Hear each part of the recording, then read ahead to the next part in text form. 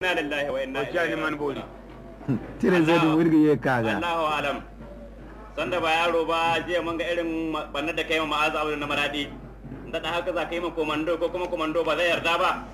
Tun dai da aka fara Muhammadu Idi bai irin garajen nan asa agogo ko sandaga yana shiga sanda ba yaro ba sanda ba yaro ba sanda yan bayaro baya. baga banda agogo ko sa kaido? Sanda ba yaro ba na yi baya baya Sanda ba yaro ya ba ku ga bonce ki. a dawo tsakar fili tun ba sai ko ina ba. Agogon ga boce ci muhammadu idiga. An kuma sake busawa. Sako wala? Saku. A Sa. sa kaido na agogo koi sanda ba yaro ba na yi baya baya Muhammadu Idi na kamo shi. Yana yi baya baya. Ha? Yana ja da baya kaɗan. Yana ja da baya shi sanda ba yaro ba. Muhammadu Idi na biya dai.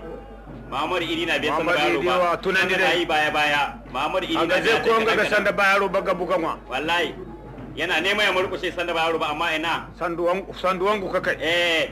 Ar kan bai tibi. An saki kuma amma har yanzu sanda ba yaro ba na ja da baya baya kai kai Muhammadu Idi na biya sai kamar irin abin da Muhammad- yanzu zaki ya gaba rewa yana sai kame. Muhammadu idi musu dai na gahima Ah, da wallahi irin ta yanzu zaki ke irin ta kasaita Muhammad Idi ya samu kawai sanda ba yaro ta jiya.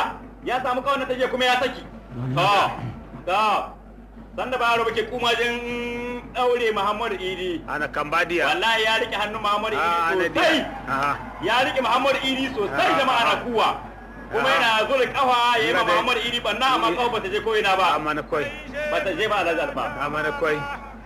Da Ah, wallahi. Ah, ah, ah, ah, da wallahi ah. da baro ban muhammadu idi tibi. Muhammadu Idi ya samu kawar sanda ba yaro ba amma irin samun da ma'aza ya mata jiya ne. Ah, kai kashe shi kai. Ashe, wallahi ashe Alhaji, wallahi irin muhammadu kai ne. idi gaba tuno. Moso ka dai da duke fa. Wallahi Muhammadu irin irin samun hey. da mata jiya ne irin samun da aka yi mata jiya ne ga sanar da ya riƙe. Ya riƙe ta sosai yana sanar da shi da ita. Ya riƙe sosai yana sanar da shi da ita. Ya riƙe kawai sosai. Yana son dora Muhammadu Idi na sanda ba yaro ba zari Muhammadu Idi na zari. ya buga mai mu ya ce shedanin yaro gaba da illallah sayyidina Muhammadu. Muhammadu Idi ya dan bi cikin Mu cikin zani. yaro ne. Wannan ana ya ɗaukan